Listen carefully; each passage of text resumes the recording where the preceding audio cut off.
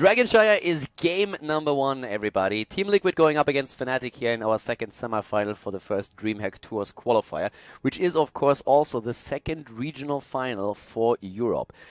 Only one team has qualified so far, and that was Navi in a series earlier on against Team Dignitas. But right now, Team Liquid and Fnatic are going to determine the second team to advance out of qualifier number one here. We have on Dragonshire bans on Zagara right away. She's one of the best solo laners up at the top. And Fnatic is about to look at the ban on Zul, which would leave Illidan open. And that would be absolutely incredible since Team Liquid, they love their Illidan. I'm actually also not alone today. I have Tetcher with me once more, and we're going to bring you the coverage here for our final series of the day. Yeah, Team Liquid deciding not to first pick that Illidan. They really do prioritize that Greymane, and that does leave it open for Fnatic. And once again, we could, we may see the situation of Illidan just getting passed over, but this is a much more comfortable map for him. So I wouldn't be too yeah. surprised to see him. But like you said, teams have been looking into like Illidan counter builds. They definitely have. The question is, of course, always like, what are they willing to show, considering that the first EU regional final in Leicester is going to happen next week. K2U3 with a resub for 16 months. Dude, thank you very much for all of that. I actually still think it's a little bit sad that you can't double check how long people are like that. There's no like high score list of like uh, the longest subscribers, but 16 months is all the way up at the top. Lunia also with a resub. Thanks, guys. Thanks. It's really appreciated. And well, we've been talking about Illidan. Wow. We've already been talking a lot about today also about Dehaka, but I have not seen him first pick yet. No, that is uh, that is some high priority, and they're going to be able to pick up Falstad as well by the looks of it. So yeah, an interesting first two picks there. Like the Falstad makes sense; everyone loves him at the moment, but Dehaka first pick. I mean, wow. it's basically catering to the same advantages that Falstad would give you on the map. It's incredible mobility where you can just simply from the bot lane get very quickly up to the top lane to help out with a shrine here. Go for a gank, for example, or just put additional pressure on the shrines. So that is really cool to see Fnatic committing this heavily to that mobility on the map. And I feel Dragonshire is a perfect map for it. It's actually also the map pick of Fnatic that we have. So they must have something like this in mind from the get-go. Yeah, I would agree. They've taken most of the very mobile heroes who can do a lot of split soaking, so interesting to see how they work with it, but they clearly have something in mind. Team Liquid, though, getting some snipers in, the Muradin and the Tyrande. And we've been talking a lot about Tyrande today. That Starfall gets incredible damage done and Team Liquid has always the chance to combo that off with an Uther, for example, which we have seen several times right now. Even Tassadar is still around, and you could actually still go into an Illidan composition here if you really wanted to. And Team Liquid, they have done it several times. They've played also Greymane in a huge variety of scenarios. They played Greymane as, uh, with Chris, for example, more as like the ranged assassin, but Lowell sometimes jumps on Greymane as well, plays a different style where he focuses on the Worgen form, the Worgen talents, and plays it more like a melee assassin. So that gives them a lot of flexibility going into these drafts, even with an early Greymane, where they can, in the draft itself, still shift the role of the hero a little bit and put it on a different player. So that's definitely one of the things that we have to consider here. And Fnatic is already looking at that, and they ban out Tassadar exactly because of that double support problem that could occur. Yeah, makes a lot of sense. So Tyrande either has to be played as a solo support, or she can, which we have seen already today, or we're just going to see a different second support for Team Liquid. ETC being banned, very popular second ban, and Fnatic is continuing with Sonya. Now, Dehaka, of course, with his drag already gives you a huge amount of CC during these fights and can actually isolate a target quite nicely. Sonya could capitalize on that by putting in the damage, and Uther is now being picked, and that picks it also away from Team Liquid. That combo with Tyrande and Uther has been played several times here today, and we mentioned it a bit earlier. Tyrande in a double support scenario can always be used for a lot of damage thanks to the Starfall. Rehgar is still an option for Team Liquid right now. And depending on the situation, we have also seen Tyrande play together with not only Brightwing, but also with a Kharazim. As a double support, she just offers you a lot of utility, and since Blizzard has really made sure that Starfall is a huge you like option, she can be played in a very different setup. Picaroon, thank you very much for the sub here as well. Guys, you're awesome. Thank you very much for that. But yeah, Team Liquid, what do you think what they're going to do right now? Are we going to see that second support, Tetcher? Uh, I think the second support would be nice, and then they could even, if they do go for a second support, still actually fit the Illidan into this comp if they really wanted to go with it, because it's still open. Mm-hmm. I actually agree. I, I thought, uh, personally, I believe that if Uther would not have been picked away from them, they would have gone Uther Illidan. I really Yeah. think that would have been a great start for them. They can still make a very similar play with Irega, I suppose, but this is also Dragonshire, and one of the things that they're missing a bit is wave clear. They have it on the side of Greymane, and Dragonshire oftentimes hinges really on the vision that you get, and wave clear is a huge part of it. And Team Liquid has shown us the Vikings game today. I didn't really expect them to pull out the Vikings here, but they actually do. I am loving, like, I Uh, love Vikings play, but this, I love Vikings play, but against Falstad Dehaka, yeah, the this ultimate is roamers. not what I expected, but it's a very interesting pick for sure. How is Team Liquid gonna run this now? They have a Viking, and that is more or less also the moment where we know it's not gonna be a double support. So Tyrande solo it is, Yeah. and a Thrall being played most likely by Lowell. We see Shad on the Vikings, and we will see Greymane played by Chris. So Team Liquid with a setup that I personally did not expect in this setup. Neither did I. He well, the Shad's gonna have to be hundred percent on point on those Vikings to prevent Falstad and Dehaka just ruining his day by picking those up. And looks like Fnatic gonna finish off with a Stitches, running the double tank Sonya melee and the good old classic Stitches hook into Uther stun. Stitches hook into Uther Stun, true. Not really a hero that I expected either here, though. I'd agree. Uh, I definitely not what I expected, but I kind of like it considering the compositions. Tyrande as a solo healer, quite easy to eliminate if you get a good hook onto her. That's Ray true. main, you can really you can try and focus him down, especially if you can combo the uh, the hook and the drag. You can get a huge amount of time to pick someone off that way. It's also not really, there's not a lot of good targets for the Vikings later on with the play again trying to go for a flank. The only target that they really have where they get a bit of value out of it is Falstad. So that's probably the hero that will have the toughest time. And with this many melee characters around, they will create a ton of space on Falstad. But guys, we're going to jump into this first game, and I mean, that draft is a very interesting one, as we already mentioned. that the Vikings are not usually played here, at least not too often. Normally, we see Vikings more played on maps like Sky Temple, uh, Garden of Terror, and sometimes even Infernal Shrines. Dragonshire can be strong. I mean, you can grab with the Viking, for example, the Dragon Knight 2, but I can't even remember when I've seen the Vikings the last time on Dragonshire. Has been quite some time. We're going to jump in right now to try and find out how they're going to fare here. Team Liquid in the first game of the best of three series up against Fnatic. Game number one in the series, ladies and gentlemen. Team Liquid versus Fnatic. Team Liquid to the left side of the map with Lowell on Thrall, on Green Jesus. We have currently BKB on Muradin. Shad on the Lost Vikings. It's going to be a pleasure to see how he's going to do on the Vikings on this map. Chris on Greymane. And we have Gerd Amherd on Tyrande. To the right side of the map, Fnatic with Breeze on Dehaka, Smexy on Uther, Quacknix on Falstad, Ethereal Angel on Sonya, and Schwimpy is playing Stitches. Now, this game is going to determine another team that advances to play at the uh, second regional finals for Europe at DreamHack Tours, and uh, I am excited to find out who that's going to be. On Dehaka, Primal Aggression as the level 1 talent. Haven't really seen any kind of Dehaka play without that being uh, the level 1 talent to be taken. Already, hook into drag! okay, it's that's dirty. That's that's It's really dirty. beautiful. I love it.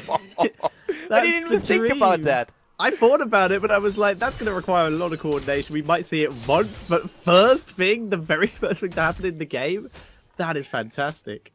This is this is really really dirty, and already the drag happening up at the top, and that's the end of Olaf. Dehaka and Falstad have the mobility on the map that they can use to make these plays. Down to the bottom of the map, on the other hand, Ethereal was all of a sudden in trouble. There's Breeze again, and he's trying to And go hook. for the drag, not getting it.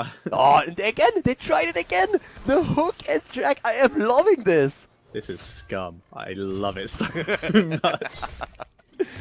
Okay, this is really dirty. This just has Fnatic written all over it. this is definitely a fanatic composition. Going to be seeing Shad pull back here. Erik getting taken out.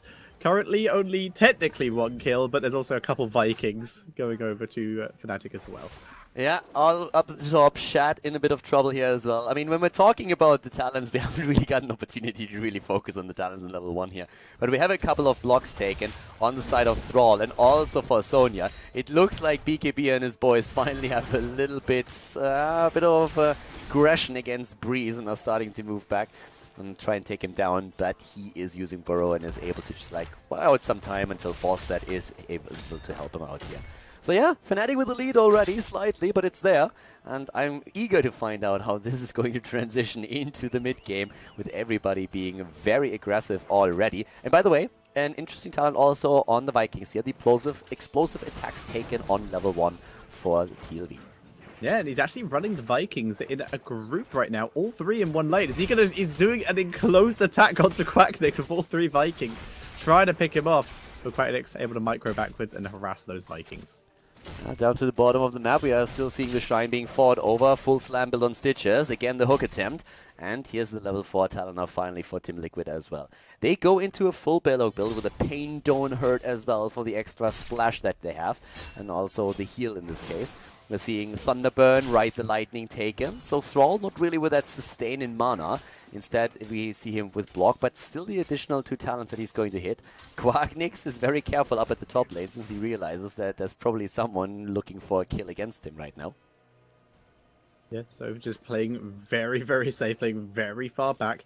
And the fact is, the second that uh, Liquid leave this lane, Fnatic are going to be able to take that shrine. Falstad and Dehaka basically means the shrines almost going to constantly be in control of Fnatic unless the Vikings split, which is too risky to do with this incredible roam potential again.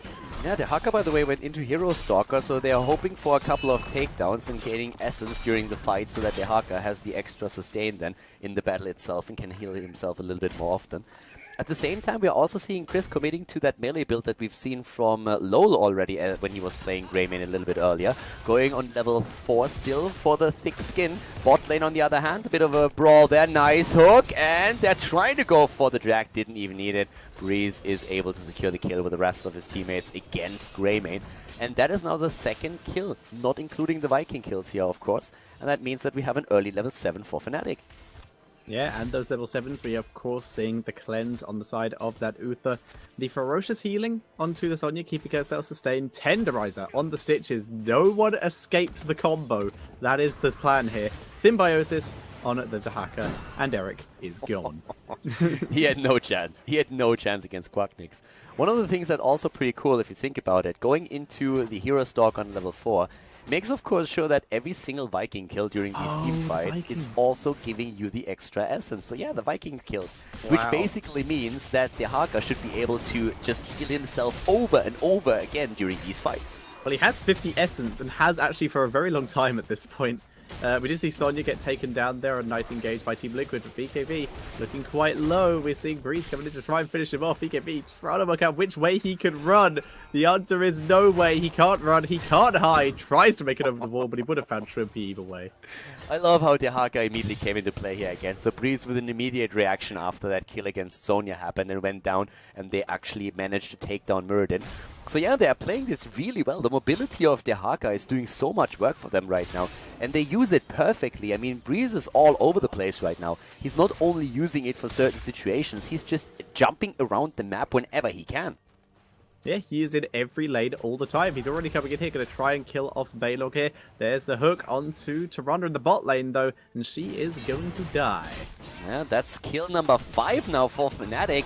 And Team Liquid is really starting to struggle here a bit, but they're making an effort coming back into this with Chris and Lowell attempting to go for the kill there. Falstad flies down, and they are going for BKB again. The Dwarf is being attacked the entire time. Great jump, but at some point you're going to run out of luck. There's right. With a stun and the kill against Muradin, and that's nearly level 10 now for Team Fnatic. Great play on their part. I'm really loving what they're doing here. Yeah, their pick potential is insane. Olaf taken out. He was uh, not sure where or how he died actually. He but... died to the tower here up at the top. They were oh. trying to push a little bit, and uh, they got a bit too excited. Well done. well done, Olaf. But now we're seeing Stitches getting annihilated. Breeze coming in to try and save him. Gets the isolation onto Thrall here, but not able to do it. But with Uther coming down, they're going to be able to at least contest this shrine and kill off Thrall. Wow. They get Dehaka, oh, well, sorry, not Dehaka, but they get Thrall. Dehaka is able to not only get the isolation in, go straight for the drag, and then they get the kill. Yeah, a little bit of a poke happening as we finally have level 10 abilities coming into play for them. But BKB will have to jump out of this one. Sonya already going into her ult.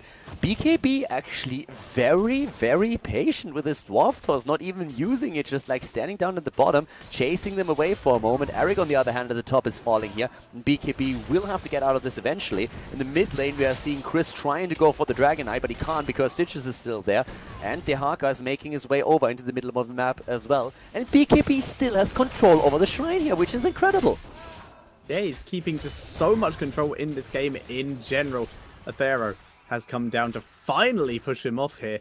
And Breeze looking for anyone to step out of position. But Olaf in the top lane grabbing at the shrine there, so preventing any Dragon Knights being taken. Yeah, Baleog in the middle is also taken out. We have Shadowstalk, by the way, taken as the level 10 talent. We already saw it in action once. No Starfall, since Scat can't really go for Starfall. He's the only healer in the team. Nice hook here by Shrimpy. Starfall used immediately, and Gert moves away. Top is taken. Falstad is attempting to escape, as Chris and Shad were both aiming for him. But at the bottom of the map, we're still seeing this huge battle over Shrine number 2. And the Drag is being hit as Muradin is being attacked and jumps out in the last moment possible. Yeah, Dwarf Toss kinda good, allows BKB to escape here, but the Shrine will remain in favor of Fnatic. But after, the fact is, it's still 7 kills to 2, but Liquid are managing to keep themselves in this game. They're managing to keep some okay, some good map control and keep themselves from going down so far. Yeah, at the bottom we are seeing another Shrine recaptured, so Team Liquid is at least able to deny the Dragon Knight to the opponent, but another Viking kill at the top lane is putting Falstad into full control over the Shrine up there. It is stolen away again though, since we are seeing Erik making his way over, and that forces Fnatic now to the bot lane where they're attempting to get the second Shrine. Nobody in the mid lane yet, but the first Viking is heading over there, so if little bit more time can be bought. They are going to get the Dragon Knight, but Fnatic is faster. They had to commit a couple of cooldowns to this, though, and Erik has fallen at the top lane as Falstad is still doing his thing. There's a Sundering trying to catch people out. Athero able to whirlwind out of the uh, whirlwind out of the stun there. Wall gets hooked, but able to tank through it. And he has Tyrande there to heal him as well, so it's going to be fine. I really have to say that the fight for the Dragon Knight is actually incredibly, uh, incredibly cool. I love this right yeah. now. Level 7 talent with a cooldown reduction again with the Symbiosis. And we have the Whirling Dervish now taken as well on level 13. So it's basically your Relentless that you get while you're using the uh, while you're using your Dark Storm. And in this case now, again, the attempt to go for the Dragon Knight by Fnatic. They have a lead in talents, which they are intent on using. Quacknix is making his way over. Vikings starting to split up to the top. Shad is going to be there. And in comes Quacknix. Flies in. Breezes there too. And the kill against Erik. Yeah, down he goes. And uh, Uther, though, was interrupted from taking the Dragon Knight by Olaf, who is now fairly boned. So he will get taken out. Oh, he tries to jump, but too many people here. He will get taken down. Well, that might be a kill. Athero. Nah, whirlwinds away and in this case gets away without any problem whatsoever. Shrink Ray being used 13 versus 13 now on the prowl taken for that auto attack Greymane build with Worgen Form. Sprint on Tyrande, not going over Flowing Light. With her going into Shadow Shadowstalk, she still has all the tools to go for the healing power. Not going to really put the same amount of damage out as she would have been able to with Starfall, but Shadow Shadowstalk, of course, for healing is going to help a lot with keeping the team alive in those team fights, especially once you get level 20 as well and get the added bonus. Oh, they go for the Divine Shield for the Dragon Knight. Basically, Smexy just saying like, I, I have enough of this. Let's go in, yeah. take it with the Divine Shield, and claim that Dragon Knight. It's been long enough. Yeah, that was almost an exactly 10 minute long Dragon Knight fight in order to get that going. Smexy cannot blame him for just wanting that Dragon Knight, and they're making the most of it already, pushing very hard, taking down the towers, and going straight for the fort. Yeah, and well, they start to get some solid damage in. The Vikings are still soaking the lanes, but we have a very nice experience lead already for Fnatic. 15 and a half in levels. They're very close to 16, which will give them an extra talent. In terms of damage, Falstad in particular has done a lot. It's actually one of those crazy things about Fnatic. If you put Falstad or Greymane into their hands, Quacknix is able to dish out so much damage. Like those two heroes plus Valla are his preferred melee uh, sorry, his preferred assassins overall, and he is insanely good on all three of them. In this case, his Falstad damage output is pretty gigantic, and he's able to also not only top the siege damage, but also the hero damage in the game. Yep, doing a fantastic job. Dragon Knight finally expiring. They weren't able to get the fort, but they've definitely weakened it. and put themselves in a good position. And with level 60, we've already seen Stitches attempt to land that fishing hook to pick someone off. It looks like they're going to attempt to contest this Bruiser camp. And besides that, Dehaka went straight into the increase on his drag range, which is of course also going to be great. Hammer time for, oh, hook against Olaf, and bam, down he goes. Olaf dead, nerves of steel now for Sonya as well, and Sonya is moving in against Shad once more, trying to go for Baleog, not hitting that spear though, and play again is being used, saving the Viking for now. We're seeing at the same time Breeze jumping on Chris, trying to use his talents again. Falstad flies in too for good measure, and goes even for the with the Mighty Gust. But Chris might actually be able to escape here. Tenrise, on the other hand, slows him down. Chris is about to fall. He's down. And at the same time as Greymane dies, we're now seeing the second kill against Thrall. So Fnatic with 11 kills against 2. And they are playing a fantastic game here. Yeah, they're really showing some good dominance here. And now are going to push this mid lane try and take control to just take down this fort super quickly. Stun lands onto Shrimpy, but he really doesn't care. He's just going to continue pushing through this, and he has Relentless. At the top, another fort is about to be eliminated too, which is extra experience for Fnatic on top of everything else that has been happening here. They're still pushing the mid lane, but at least Team Liquid was able to pick up that level 16 talent for themselves, so they can fight on even talents for just a bit. They're two levels behind though, and they are running Vikings on this map. So that doesn't really bode too well for them for the later stages of this game. If they're not able to pick up a Dragon Knight fairly soon, then they are going to fall farther and farther behind. And in 10 seconds, we have another Dragon Knight up on the map. Maybe with the mobility or, well, with the presence that they have thanks to the Vikings, they can make some plays here. But that Dehaka and Falstad mobility that we've seen so far has done wonders for Fnatic.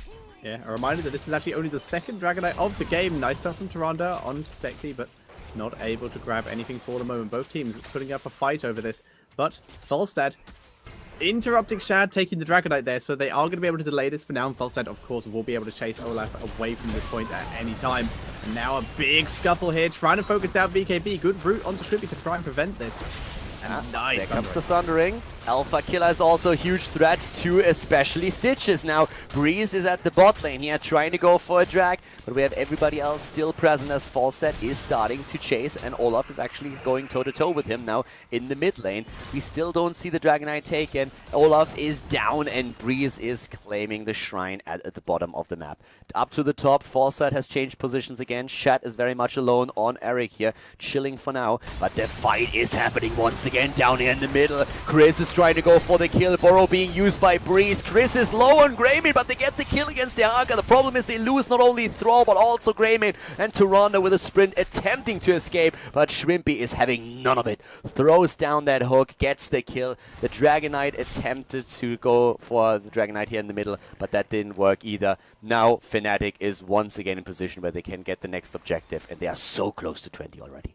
Yeah, Falstad's on his way top. He's going to be able to take that, and that should give the Dragon Knight over to Fnatic. Erik's going to delay this as long as he can, though. BKB actually here as well. They're going to do everything they can to prevent this from happening. Uther and Falstad versus basically just Muradin, who has decided that this is a bad idea and is going to leave. Yeah, Muradin is retreating, and the Zero Angel is already in the middle of the map waiting for the Dragon statue to be active, and that's exactly what happens. Level 20 is going to help them out too. The Apex Predator is something that we expect on, of course, Dehaka now. Double Hardened Shield already. In the case of Sonya, still called Ignore Pain. Sonya is a little bit cooler than all of the other tanks. He just basically says, I want to have my own name for the same talent. Redemption taken and Epic Mount. And no talent choice on the side of Dehaka just yet, as we are seeing Fnatic pushing through the middle to try and go for the kill. And actually, Dehaka going for Hardened Shield. They want the tankiness. There's the drag onto Olaf, who gets very quickly picked off. So Breeze just picking off people one by one, and they're already able to take down the keep. Hook just missing Lol. If that had landed, that probably would have been game over. But we're still going to see Fnatic attempt to end the game here. Stun onto the Dragon Knight. Breeze and Shrimpy both just pushing through, distracting everyone, keeping them busy. While the Dragon Knight will finally get finished off here. But the core going down so quickly. In come the Vikings from behind. But it does not look like it's going to be enough. That is, actually, it's going to be close. There has too much health. Very close, but it's gonna work out oh. for them. Or is it? No, no it's not! Oh my god! they can't do anything. Oh god, redemption. It doesn't matter. They still have all their forts. So the core is down to 4%. Falstad alone should actually be able to make that play. Yeah. Dehaka going into the hardened shield because they decided to go for core. He would have gone for the Apex Predator if not for that, and it just barely doesn't work out.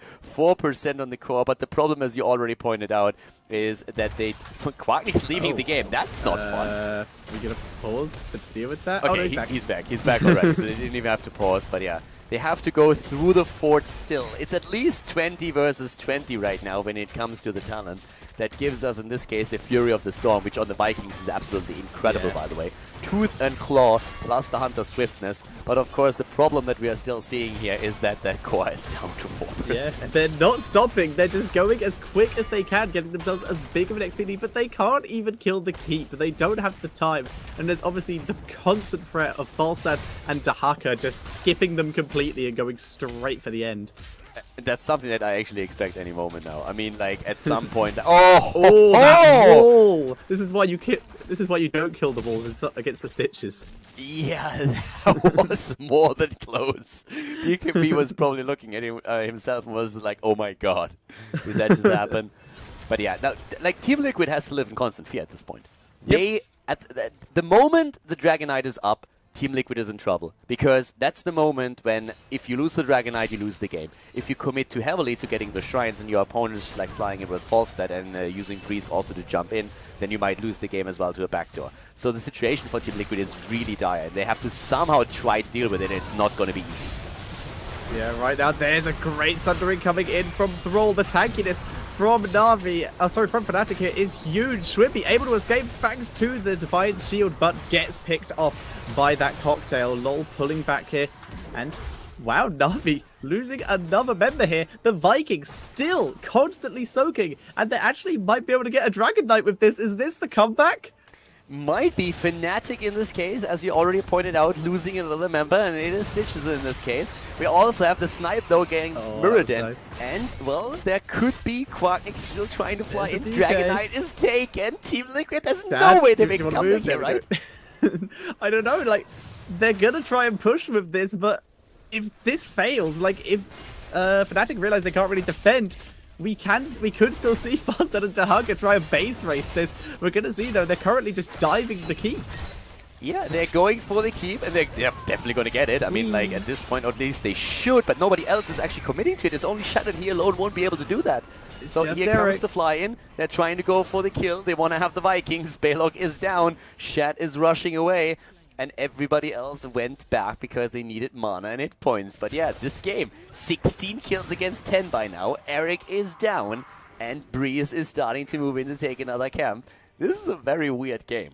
It is, but, with Muradin down, we're actually seeing a very aggressive push out of Fnatic here. Stitches is almost back. One pick with that hook into Dehaka combo, and this could be game over. Liquid need to be so careful. Keep moving, keep dodging, and don't die here. There's the Sundering Divine Shield, keeping Dehaka alive though. LOL getting focused out, Bolt of the Storms onto Falstad to try and pick him up, but he gets isolated. Uh-oh, that is Thrall in trouble, and he's down! Oh, play again, use Quacknix, repositions himself for the Epic Mount, and they try to go for another kill.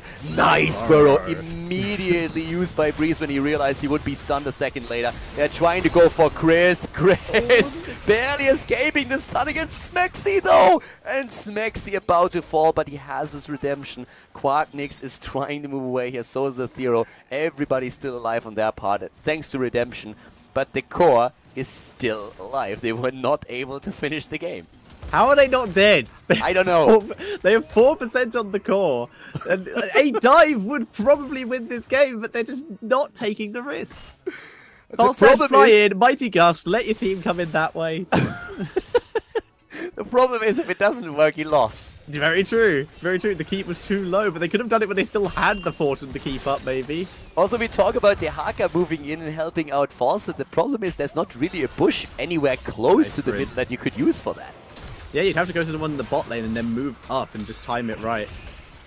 Well, for now, again, Athero in a little bit of trouble here, and BKB, Oh. he wants him. He starts to jump in against the Thero Angel. Not working up just now. The Vikings doing their thing, by the way, splitting, and they're trying to go for the Dragon Knight. Falstad flies top. He's trying to reclaim the shrine, and it's going to help eventually. Sundering being used down here already, but Falstad nice against denial. play against Vikings finds himself in trouble. Yeah, he has to back up or he gets burst out. Athero goes into a huge group. Breeze getting focused and he goes down. Smexy also getting focused. Liquid with the comeback. In comes Falstad again. Dragon Knight being taken by Olaf. They No get way. the Dragon Knight. Schwimpy's dead. It's just Quacknix. What just happened? And they are gonna win the game now, aren't they? Are you serious? Gonna, Quacknix is gonna try and fly it. He's gonna wait for the cooldown and then he's He gonna has fly to. He has to. Look at that. Everyone. No, he's got to defend. He, ha he has the cooldown though. It's very short. He can try and fly in if this doesn't work, but he just lost so much health. Everybody else moved back because they knew that Quack's Quacknix could do that. And the kill, it kicks him. and he's down. GG called. It's the end of the game. 4% on the core for Team Liquid. And after Fnatic ripped Team Liquid a new one throughout the entire game, they end up losing game number one. And Team Liquid takes the lead in the series. O- o- oh, oh, okay.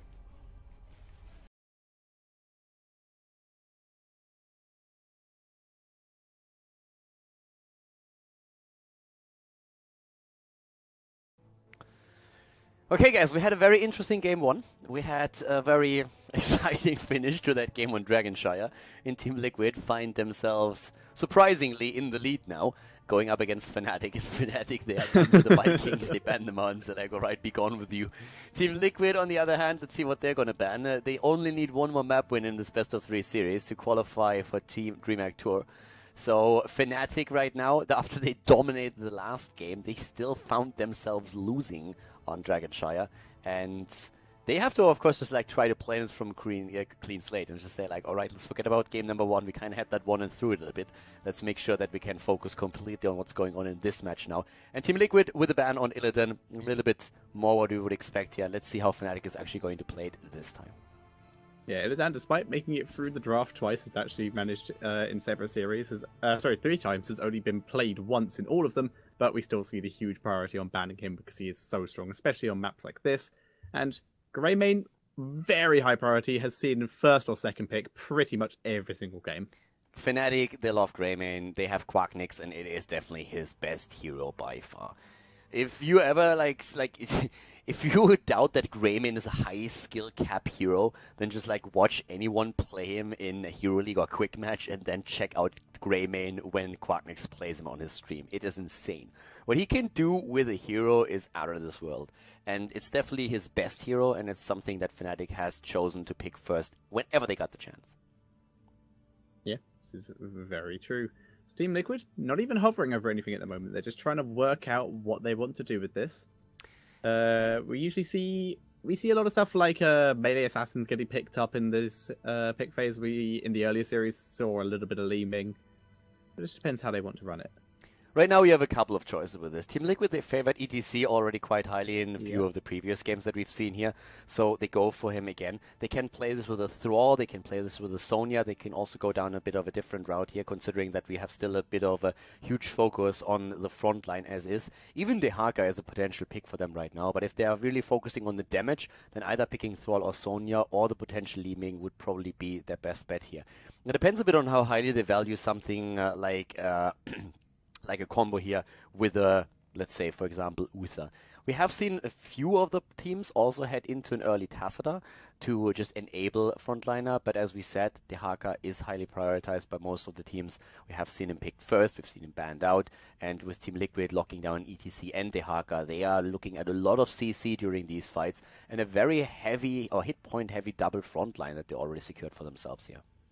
Yeah, that's going to be very nice for them. They also have a some solid CC for themselves, including the obviously the drag, etc, all of its crowd control, and ultimate wise, we have some good single target crowd control in the form of isolation, and the AOE crowd control in the form of mosh pit. Yeah, Muradin for Fnatic right now, so we have at least one hit point heavy frontliner, and it's really all about the CC tanks overall. We had for the longest time ETC and Muradin being like the top two tanks. For mainly the reason that you have the biggest crowd control spells on them. With Dehaka now coming in and having drag available as well, and also isolation later on, he's kind of filling that niche a bit, and he has great mobility on the map as is. So that is a huge point in his favor. And Fnatic is of course going to try and uh, play some counter um, control against that. They have Tyrande and Uther right now for the picking. And with the Tyrande, it's very likely that they're going to aim for the potential double support so that they can make good use of Starfall. Uther, then again, would really help out Greymane if he wants to jump the backline. It's a tough choice to make since you more or less know if you pick one, you're probably not going to get the other. But Tyrande would allow you to get a second support in, which helps Greymane then as well. It's really a matter of priority and preference on how much you really need the Divine Shield to get good value out of Greymane. And as we said, Quacknix is exceptionally strong on the hero they are trying to go for that CC with Tyrande, with Muradin, and then having the potential Starfall if they are able to pick up a strong second support for them. Yeah, and there are a lot of strong uh, second supports that they can roll with, like you said before. Question is what whether Team Liquid wants to ban one, or whether they want to ban and pick one, just how they want uh, how they want to run it in terms of the order it's going to be a very interesting ban phase either way, because at this point, Fnatic could actually be the one banning out Uther if they're afraid of ETC Uther as a combo. If that happens, then uh, Team Liquid is going to get Rehgar if they want him, since, since, they have the next two picks. So this is a really tricky part right now. Depending on what Team Liquid picks, Fnatic could even decide to just simply let the supports go and then pick up either Uther or Rehgar, whatever Team Liquid chooses, so that they get the get the double support combo as is. And with Falstad banned out, it helps Dehaka since he has his global presence and Falstad can't really counteract that. Li Ming banned out, so uh, or about to be banned out. So Fnatic lets Uther and everything else go, which allows them to at least pick one great second support up for themselves if they really desire to do that. Yeah, which makes a lot of sense. They don't want to limit their own options, things if they're going to be the ones running the double support. So works well for them. But Team Liquid, they do now get the Uther if they want to use that as the ETC combo, or if they just wanted a bit more AoE damage, could run the Rehgar. I expect the Uther, and that is what they are hovering over and already lock in. An interesting part is also that we have not had, like, we have with Thrall a very good solo laner for Team Liquid. Fnatic is lacking that, so they could go into a Zagara if they feel the need to do that. We have them also in a situation where even a Tassadar could work out with Tyrande, but they go as expected into that Rehgar, which is one of the reasons why they actually did not ban Uther out, because they expect Team Liquid to pick up either Uther or Rehgar, and if they would have banned one of them, a second one would have been denied to them too. So uh, not really making that commitment yet, but picking Rehgar together with Tyrande would allow the Starfall to be taken, and yep, that's happening here. And now the only question is, what's going to be the last hero for them? Is it going to be uh, some like control? Is it going to be like a bot laner? It is Sonya in this case now, which helps against Thrall. I like it since I feel if you go into a Zagara, for example, to put it to the bot lane, that doesn't help you in the game itself, at least not too much. So with the double support, having in addition to Greymane another heavy bruiser or like a, a bruiser in addition to that, to Greymane being more like one of those melee assassin finishers would be a great choice. So I would like the Sonya pick here. Yeah, I agree. If you're gonna if you were gonna run Zagar on this map, I would actually considering the comp you're up against, yeah, more would be nice just disengage, but other than that, you're not adding a huge amount. Like even with Nidus Zagar to try and counteract Dehaka, is just gonna murder your Nidus worms. I'm really curious to know. I would love to know what actually was the uh, second choice for them. Because I don't feel it was Zagara. I really think that they had a different pick where they said, hey, we're going to make that happen. And I would really love to know what they were thinking about here. Since Sonya gives them a lot of damage, and Team Liquid adds Valla. They needed range damage. I mean, they have already like three frontliners. If you count Uther, that's even four melee heroes that they have here. So they needed someone that can dish out the damage from range. We have seen a couple of like Jainas and Kael'thas, but overall, if you want to have steady damage output, Valla is the best choice at this point with Falstad being banned out. Yagazir, thank you very much for the resub for half a year already. Thanks, bro. And yeah, guys, with that also, we have now Sky Temple shaping up in front of us with two very nice drafts for both of the teams. Fnatic had a crazy good game on the last map, on the first map, until well, that little blunder happened with the 4% on the core. Team Liquid, on the other hand, now they need one more win. If they can pull it off against Fnatic here on Sky Temple, is something that we're going to find out together right now. If they can make it work, it's going to be a 2-0 victory, and Team Liquid would actually qualify for Tour. If they fail to do that, then Fnatic can force them into map number 3, and then we're going to have a final deciding map between the two teams here. So guys, we're going to jump in, we're going to find out which team is going to take it here on Sky Temple, Team Liquid, or Fnatic. Game number two, Sky Temple. Fnatic going up against Team Liquid. After a pretty incredible finish to game number one, we have Fnatic now eager to start this series so that they can force a game three out of their opponent. Breeze starting to the left side on Muradin. We have Quacknix on Greymane, Ethereal Angel on Sonya, Smexy on Rehgar this time, and Schwimpy on Tyrande, making this a double support combo that they're running here, and potentially the Starfall being picked up for Tyrande as well. To the right side of the map, Team Liquid again with Lol on Thrall. We have Chris on Valla, and a double warrior frontline with BKB on Dehaka and Shad on ETC. Gerdamherd going to try and provide the Divine Shield for either Thrall or maybe even for the Mosh Pit once that Shad is going in here.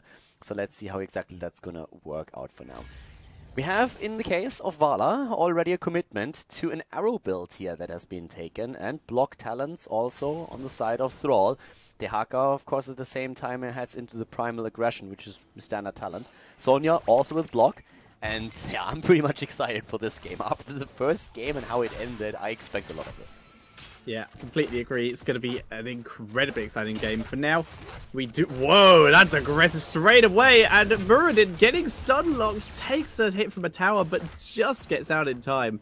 Very nice heal from Schwimpy and very nice dwarf toss from Breeze, but that was a lot of stun from the side of Fnatic, uh, from the side of Liquid here, sorry. Yeah, Tyrande actually providing the stun as well to just like helping out and hoping to like stun one of the heroes that were trying to take down Muradin here. So that was a lot that was stacked in this case. And it was a very early aggression. BKB, he played Dehaka quite a bit, and I mean, he really likes the hero. So if he sees a chance to like lock someone down, that would be great for them. Keep in mind that that was actually Muradin that he got, right? If that would have been yeah. Greymane, that would have been an insta-kill. Very true. They would have just taken him straight down. Muradin has the tankiness and the dwarf toss, and he barely got out of there. But now Quacknix just clearing the minion wave. BKB could try and move forward here to try and clear the wave, but needs to be very careful about getting caught out by the Miranda combo. As kind of expected, the bot lane where we have Sonya and Thrall is still not moving towards the middle. We have a split in temples for now. BKB actually very much alone in the mid lane at this point, trying to, of course, get at least the waves up at the top. We are also seeing a temple taken out by Team Liquid, and they are already like moving in a little bit to at least take the waves down. It's all about like an even trade right now. The most important part is going to be the second temple activating them later on. But with now Ethereal starting to move into the middle, we're actually seeing a bit of a commitment trying to go for BKB, but Lowell is also meeting the rotation of Sonya and starts to walk straight into the mid lane right now, making sure that there is no problem for his teammates. Yeah, looks like we are just seeing the whole all Lowell now being focused, but the Pharaoh having to spear to the wall, not able to get on BKB. So both teams, we just saw almost 50, 100% uh, trade of each temple in favor of each team. So Nah, not too much there. They're just not contesting each other for the moment.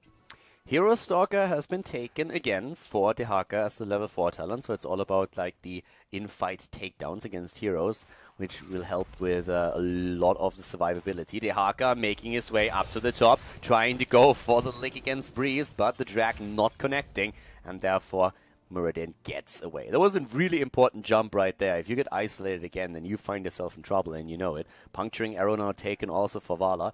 And again, block given priority over the lane sustain with the level 1 chain lightning talent that we oftentimes see on Thrall. So really just like adjusting a bit to the patch changes, the block is now so much more powerful than it was before. Yeah, it is very, very strong and really is makes a lot of sense against the composition we are seeing from Team Liquid. That Greymane can jump in and get the Worgen attacks off. You want to block that. Sonya has decent auto attacks. Even uh, even the Tyrande could come in and do some decent damage. So the block really going to help out. Yeah, really good point that you make here. The composition alone is already a big plus in favor of block, not only the talent being changed, of course. For now, we have both teams heading into level 7, and, well, we are seeing a slight lead, actually, for Fnatic. BKB at the top lane positioned right now. He's the one that has the easiest time jumping down to the bot lane, so it makes a lot of sense to him being up at the top now, because that shrine, once it's activated, will definitely need his attention, and then he can just like simply use his trade to move back down, and that's something uh, that they of course currently bank their hopes on. To soak a little bit more experience with Dehaka, and then move in for the shrine fight. And there's quite a couple of bushes down here that he can use to flank the opponent. Yeah, both teams hitting 7 at a pretty much equal time, but like you said, the XP slowly starting to creep away for Team Liquid thanks to that Dehaka soak, and he's going to be able to stay up in top lane a lot longer than Rehgar can, unless uh, Fnatic somehow want to fight this with uh, only their Tyrande and not their Rehgar, because right now Rehgar's actually fighting Dehaka.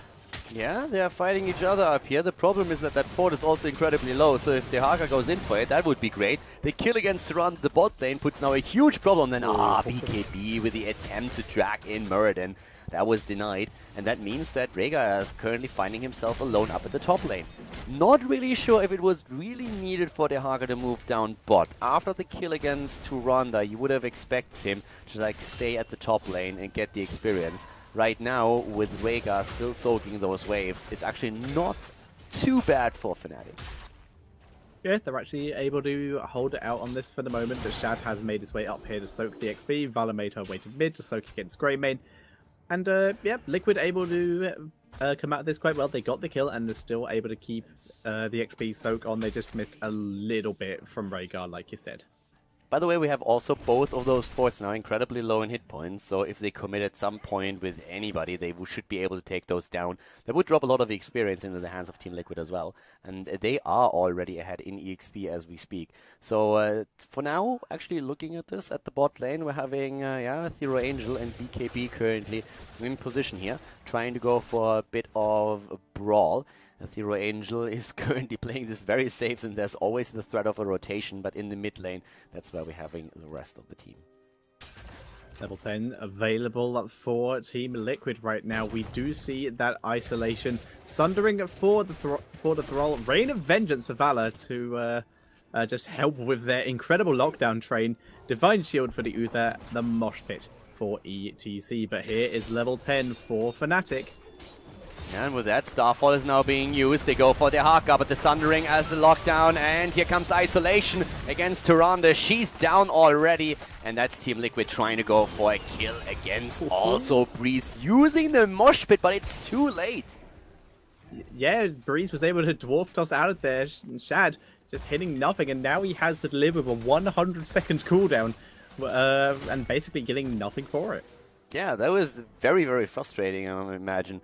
At this point, if they get the kill against Breeze, that would have been great, but the Mosh Pit was yeah. just a little bit too late for that. So now uh, is already back after the kill. We're having two kills against Zero, a lead in experience, but only a small one.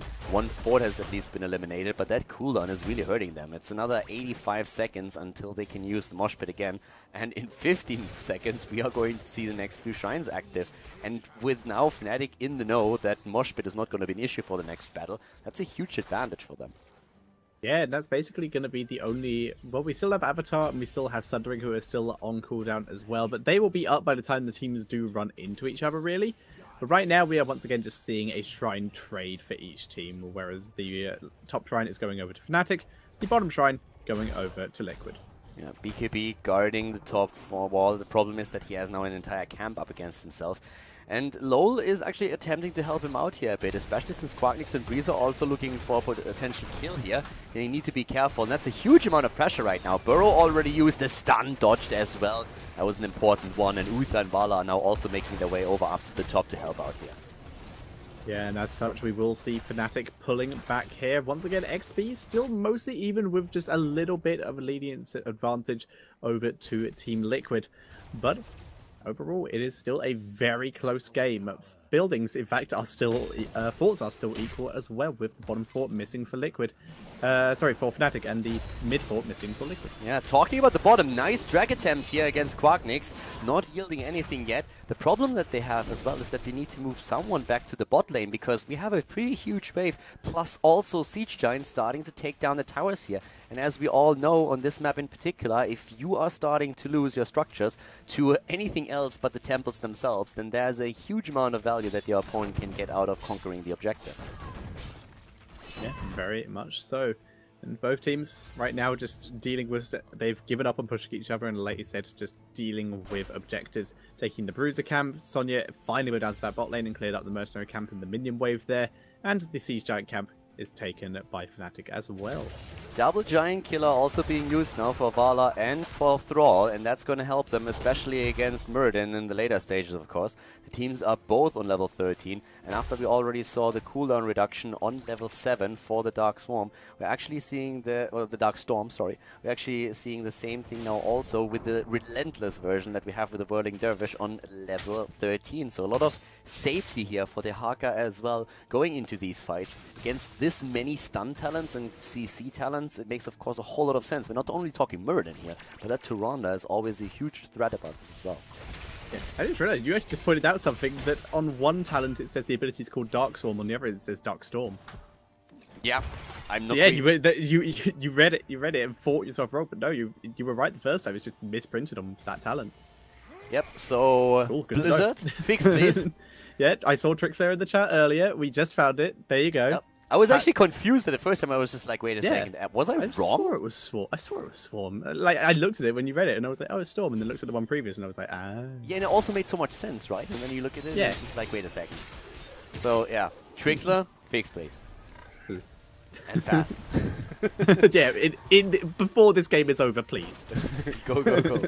So for now, we have the shrines taken. And it's again the same picture. I mean, we're having a shrine at the bot lane taken on the side of uh, Fnatic. At the top lane, it's Team Liquid. And Dehaka is the one, again, that can just like simply move down to the bottom within an instant. And we haven't really seen a lot of big fights. Think about it. After level 10, there was no big battle where we could have seen a Rain of Vengeance, for example. Now, finally, a bit of a commitment down here with Breeze jumping away. Dehaka also moving I think he moved to the well for a moment because he was thinking about going down and he didn't do that. He commits more to the temple and tries to get the last few shots. But it was really funny. Once he saw that there's a potential commitment at the bot lane, he immediately went to the well, got hit points back, and was waiting for, uh, like, if he was needed, really. And then decided yeah. that he can just simply soak the last few shots on the tower instead. Yeah, and it was a, a very cool move, just to working out what he needed to do and then playing it very, very well. He can the tunnel down now. He's got all of the shots, so he looks like he's actually just going to be back to make sure he's 100% healthy, or if he needs to engage and help out his team. Yeah, well, there's nothing else that he really has to do, and currently what also Team Liquid is waiting for is, of course, level 16. If you compare this game to the last one, the one important part here to note is really that Team Liquid is doing so much better.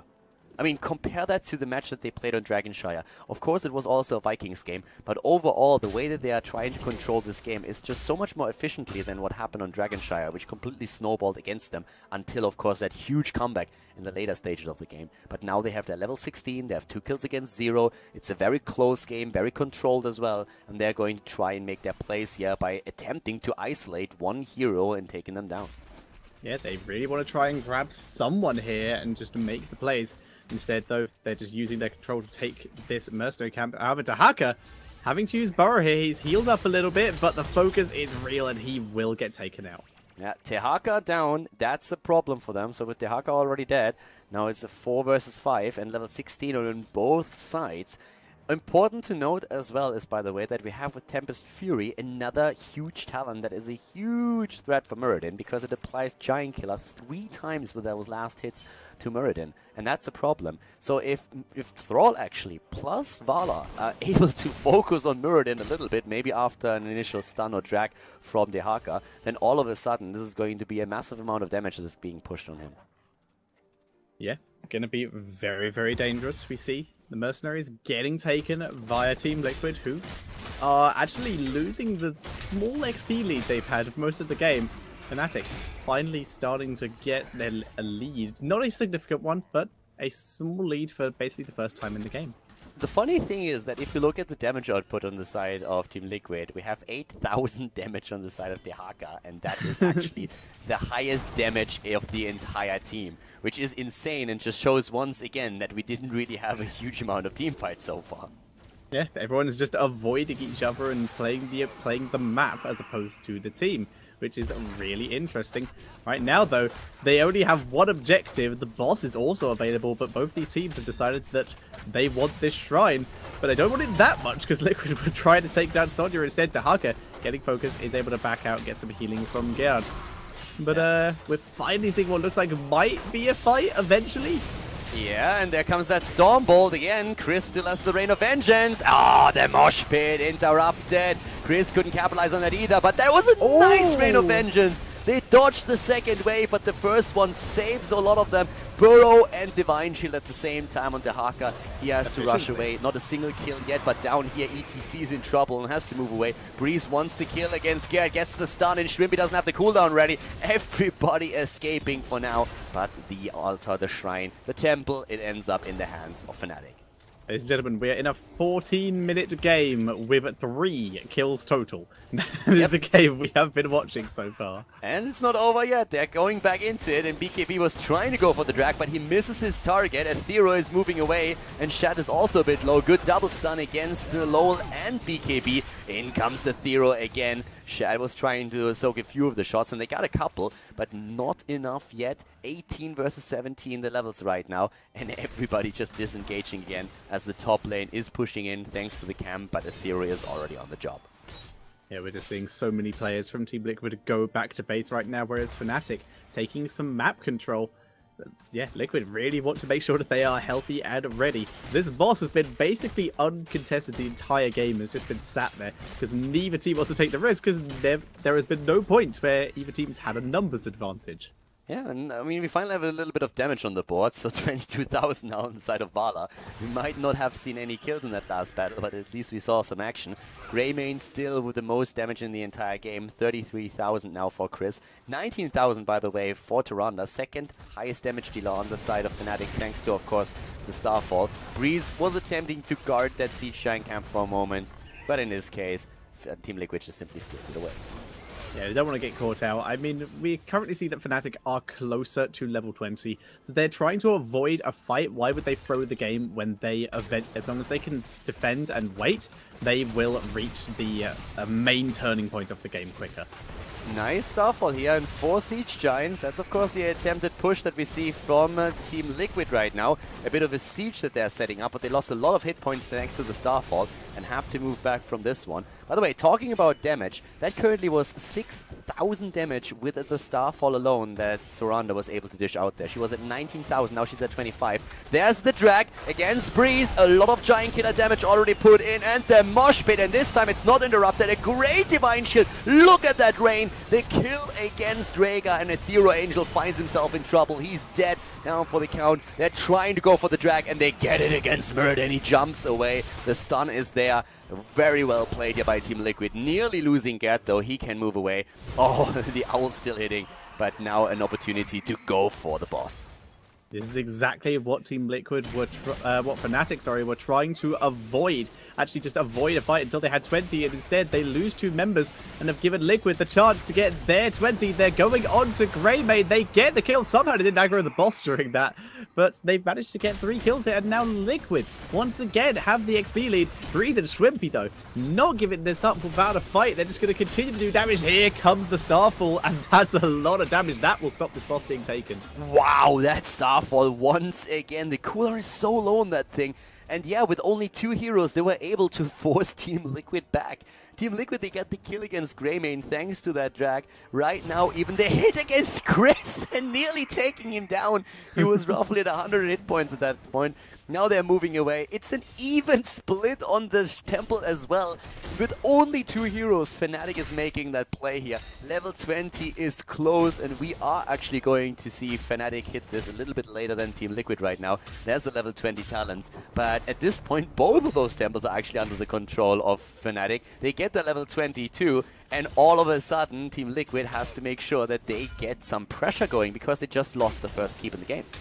Yeah, and they are doing so In fact they have actually managed to take control of this middle uh, temple and wrestle it away from Fnatic, who are moving as five up to top lane. ETC and Dehaka need to relocate themselves ASAP, and they will be able to and at least wait for the rest of their team to arrive.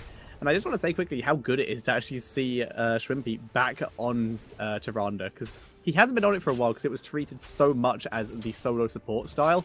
But like you said, he's been getting some really good owls this entire game and really nice stunts. Yeah, he's definitely a beast. And I mean, his damage output is not only because of the value that Starfall gives you, but also because he's just incredibly strong.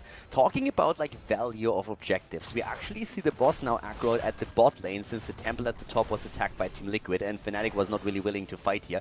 Dehaka is moving in. Oh, oh, the stun, and that's the kill. Wow. That is perfect for Fnatic. Doesn't get any better than that. That was exactly what they needed, and now they're aiming for the boss. Here's Gerd running in on his own, getting focused down, but he will be able to tank through this for now. Getting focused. He may have to Divine Shield himself. No, he is just dead. He does have redemption, so he will get out of this for the moment. Lol with Bolt of the Storm, able to survive. Uses the Sundering to try and give himself some freedom. Shad trying to zone for it, but Quacknix having none of it. And no, Lol is actually able to escape. Very nice job by him and Shad. You know, that's actually not too bad for Team Liquid, at least for now, because it still means that boss isn't taken yet. The problem yeah. is that we still have enough time on the death time of Haka for Fnatic to turn around and move in again for the boss we have Team Liquid going for it again. They did not commit any kind of cooldown to this. Keep that in mind. Only yeah. Sundering was used. That's the only thing, and they try to go for the kill against the Zero. He gets the Ancestral. The boss is still there. It's aggro. Gerd needs to be careful. Nice mosh pit, but no follow-up damage. And we have Valla rushing away, not going for our own cooldown yet either. Shad is in trouble, though, as he's suddenly focused by four, by five heroes. And that is the end of ETC, just as Dehaka is back in game. They were able to defend the boss again, but they put themselves in another tough position by once again having a hero on a staggered death. And Gerd actually getting picked off here, just being caught a little bit out of position, and Redemption is nowhere near off cooldown. Now LOL getting focused down, and Fnatic putting on some serious pressure right now. Oh yeah, they definitely do, and it's two heroes dead. It's Uther and ETC, both eliminated. The temple at the top lane is still there, by the way, and that means that there's only a couple of shots that can still be taken. That works in this case actually in favor of Team Liquid because there's no new temple phase that's going to be activated until those are taken out. The problem is that by now the chances of them defending against the boss are zero, especially with Dehaka just moving again the into 5. And I mean, like, I don't know if Captain Obvious has to write him a letter, but this was more or less a given that someone would be waiting there. Captain so... Obvious needs to needs to start coaching Liquid because the same thing just happened three or four times where a single hero would walk up to that bush as uh, Fnatic start the boss, then stop doing the boss, turn around and kill that one person. Yeah, and like with two heroes dead, there was just no way for them to actually... I mean, seriously, what were they expecting to happen there? You have all your cooldown, exactly. like every single cooldown that you have is not ready. Every single one of them, every single one of their heroic abilities in the cooldown. The only one was Sundering. Sundering alone doesn't get them anything there. So them walking in with three heroes against five has zero chance of doing anything considering that they can't use their heroic ability. Even with their heroic abilities, there's nothing that could have capitalized on it. The reason why it worked for Fnatic earlier was because they have a Starfall, which is an AoE spell that helps you with a lot of damage. And right now with that boss pushing the bot lane, they're not only going to lose that keep, they're most likely going to lose the game here now. Quite possibly. Lol getting focused down. He gets taken out and not have Sundering up. Uther was able to keep himself alive, but in comes the push with the boss. Great stun from Schwimpy there. The Starfall being used for extra damage. The Mosh Pit, though, catches quite a few members, but it is interrupted. Down comes the Rain of Vengeance, catches one wave. But in the meantime, the boss is annihilating the core, and that is going to be GG. And Fnatic take game number two and bring us to a game number three. Yeah, great play here, and we have a tie in the series, and game number three is going to come up next.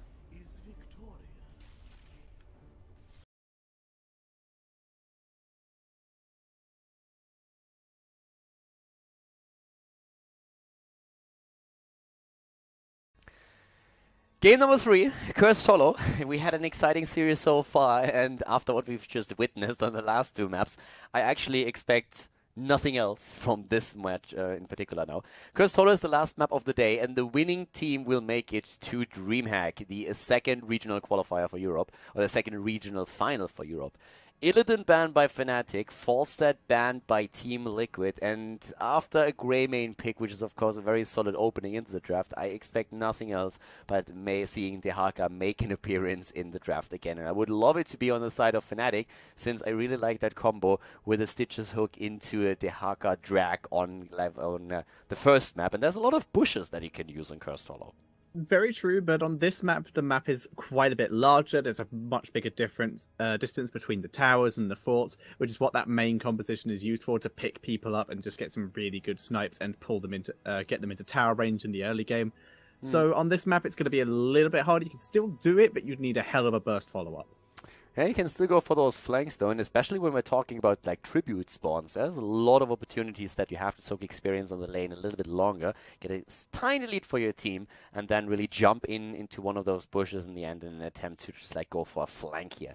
But Fnatic is starting things off with Muradin, so going into a heavy Muradin commitment here as the first pick, which is still very strong. We have, of course, one of the CC tanks now taken by them. And the question still remains, what are they going to pick next? Is it going to be some of those range damage dealers? Are we going to see like a Sonya or a Thrall? Is it going to be the Haka, which we've seen uh, prioritized quite highly?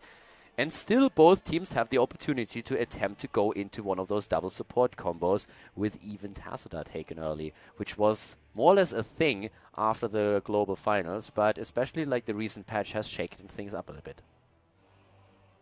Yeah, very true. We've seen a lot of changes. That would be a very early pick on a support from Fnatic with that Uther.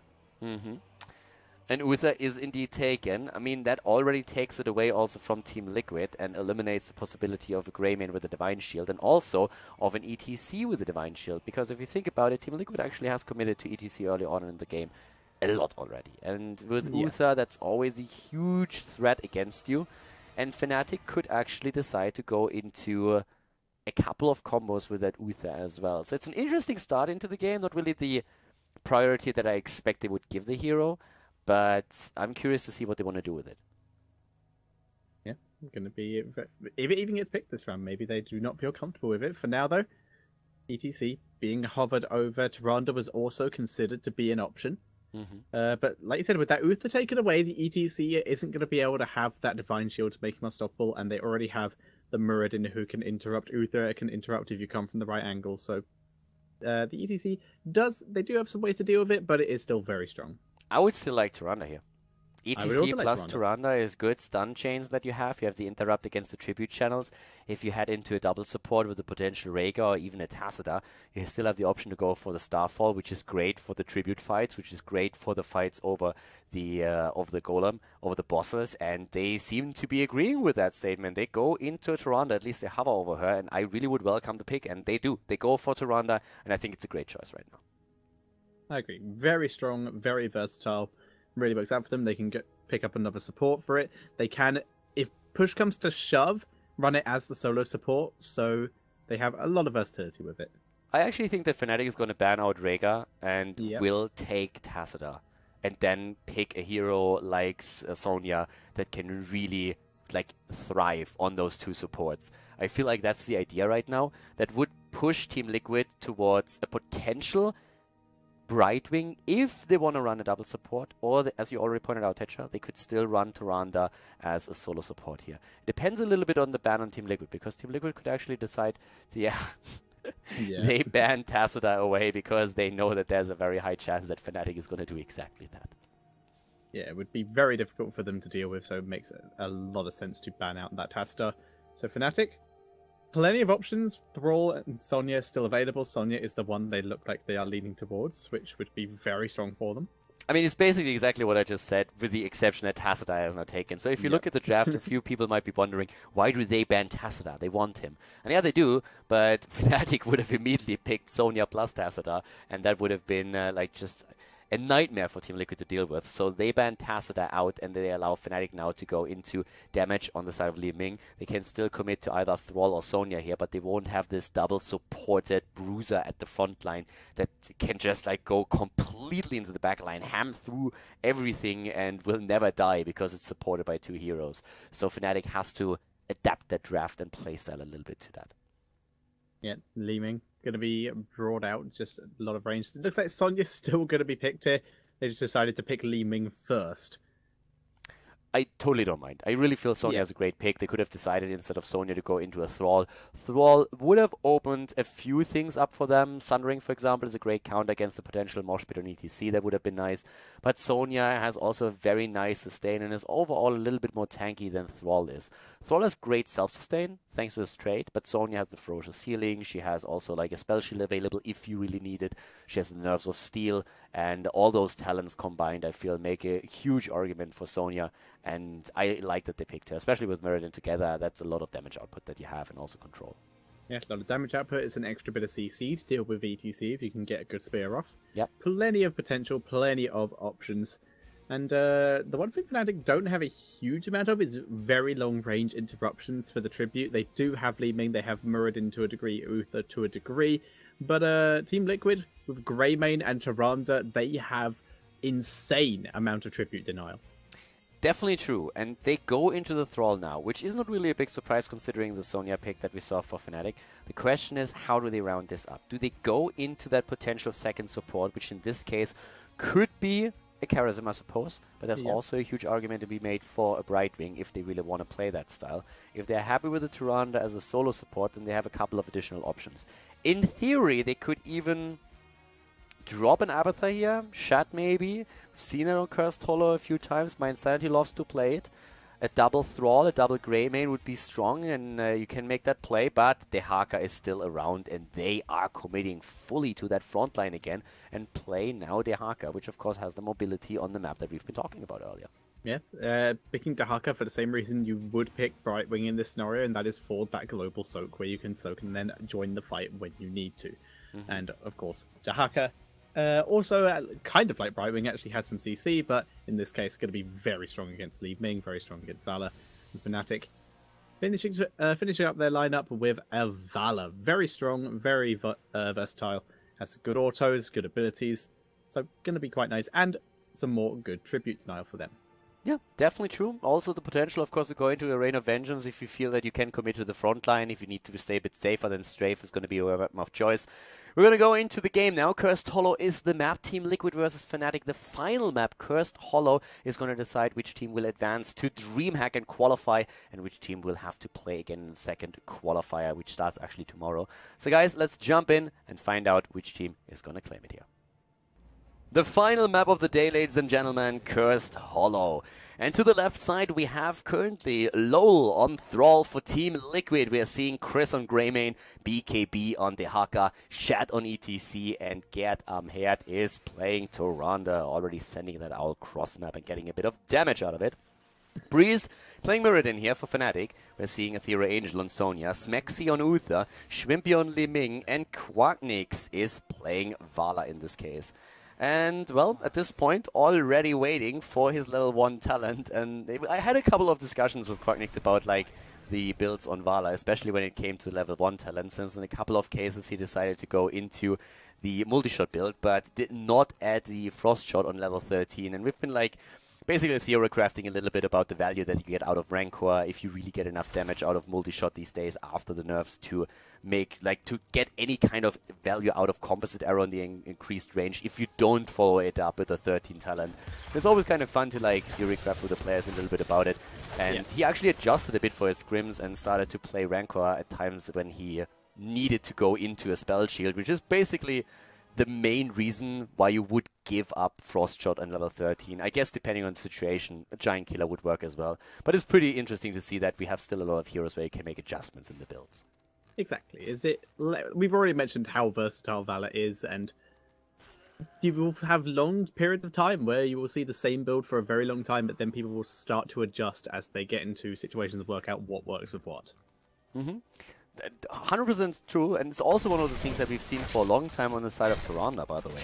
But talking builds overall, Force Armor is now taken on Li Ming again, which is going to help with survivability a little bit if you get those stacks added up. We're having for Dehaka again the Primal Aggression.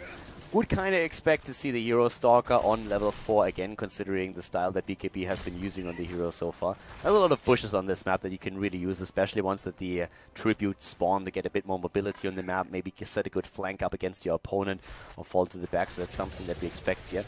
And with adjustments, we also see Lowell again with block on level 1, and he will still add the Chain Lightning talent with the additional bouncers on 4. Yes, Sonya also going for block. The like you said, it got buffed recently. People really liking it right now. You see, he's in the face melt to push Breeze back a bit. But low, just clearing up for now. Neither team making a huge commitments, but ETC Tyrande combo, nice dodge by Gerd. They're not really committing to anything because they don't want to get into a 3 versus 3 fight. This comp is about picking individual people off it is a gigantic CC comp that is being run by Team Liquid right now. And one of the reasons why I actually believe that even if Quacknix feels that he needs a bit more safety and would love to go into Strafe, I really think that right now Rain of Vengeance would probably be a great choice for them because they're really lacking a little bit of interrupt against ETC. If you hit that with a spear on Sonya, then yeah, you can interrupt. You have Muradin as well, but besides that, I'm not quite sure if that's going to be enough for them. They need someone in the backline as well that can go for that interrupt against the potential mosh pit. Since there's so much CC with ETC Power Slide, the Stun, the Haka Drag, also the Sundering on Thrall and the Wolves, and then on top of that, a mosh pit too, that seems to be like a very, very dangerous game to play. I agree. Like if they were to take Rain of Vengeance on Valla and uh, the uh, Wave of Force on uh, Wave of Force on Li Ming, every single hero would have a way to interrupt Mosh Pit. Yeah. Hero Stalker taken, by the way, level 4 for both of them. Drag against the Thero already used, but of no consequence just now. We're seeing at the same time again Manticore on level 4 for Valla. We're also seeing, in the case of Sonya, the focus attack now taken for her. It's all about the auto attack damage, with Triumvirate taken for Li Ming as a level 4 talent. And both of the teams still trying to get possession of the first tribute here, with the channel now on Smexy, but Gad should be able to interrupt that easily, and so he does. He has already the PS talent on level 4.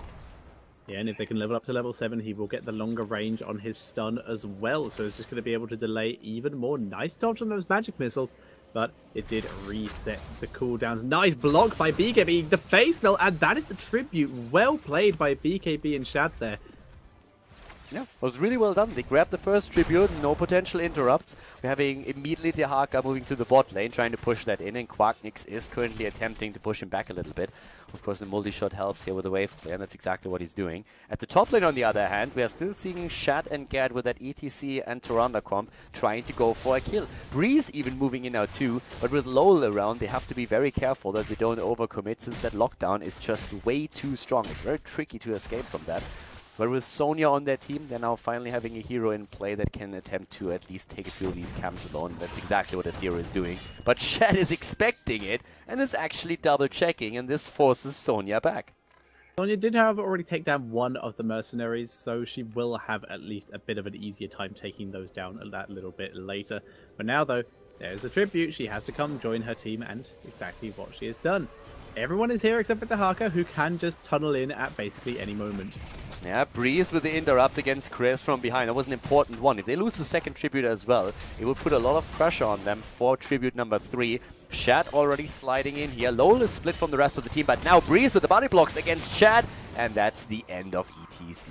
Fnatic with a good start into this. Drag being used against Smexy, but in this case, BKB and LoL were not able to take him down, so it is going to be the first tribute for, or is it? Yeah, first tribute for Fnatic and that is going to help them, of course, a little bit. It takes the pressure off when tribute number three Yep, brings the tribute count to 1-1, and everyone else going to be being back to Haka just soaking the top lane. Chris already made his way down to the bottom lane to make sure they don't miss too much XP here. Needs to be careful though, Muradin is here. Wouldn't be a kill, but could at least CC him and drop a lot of his health. Yeah, Schwimpy there, Smexy also, they're starting to just pressure the mid lane a little bit, and of course Sonya is completing the camp that we've been talking about earlier. So far, so good here. Follow through taken on 7 for Thrall. And at the top lane, Quacknix is taking position against BKB right now. Trying to just make sure that he gets the experience there. But a lot of the towers have actually already been attacked, especially since Thrall was pushing this back quite heavily. The important part is really level 10 at this point. You're trying to get for, go for the tributes. Next one is not going to be of any uh, big consequence, but it's definitely one that both teams are going to try and get so that they can capitalize on maybe an earlier level 10 or a team fight to get the first curse against the opponent. Yeah, but we're mostly going to see denials here. I don't think either team's going to try and overly commit to this for now. They're just going to make sure that the other team doesn't get it. Because Dehaka was for a very long time there just soaking top lane. He's actually going to move down to mid just so we can deal with the mercenary camp as well. Where all the rest of Team Liquid just deny this, but they're not able to deny it for long enough. And as such, they will hit level 10 first, but they are now down at the Tribute. Yeah, the Haka, act they would have loved to deny this is a bit longer. The Haka moved into the middle because at the top lane they already have the Siege Giant camp that is able to go straight for the structures here. And this is an easy kill against the towers as well, which gives them level 10 now. And that's of course Starfall here still for Tyrande, considering that she's the solo support in the team. That is not really a massive surprise or anything, but it's still a bit of a commitment to aggression here for sure. We're having go for the throat, Sundering being used, Isolation on the side of the Haka, who is attempting to use it against Quacknix. And ETC is not picking yet. Could go for the mosh pit. Fight at the bot lane as the boss is there. And here comes the stage dive, but Shad missing Smexy completely as a target. Muradin, on the other hand, has been taken down. Here comes the kill against Uther. And Chris is pushing Ethereal Angel back. A triple kill against Fnatic. And now the boss being attacked once again. Great position on the side of Team Liquid. Great position and great potential for engages there. Stage dive and burrow. That is a global tanks anywhere you need them at any time. Yeah, totally true.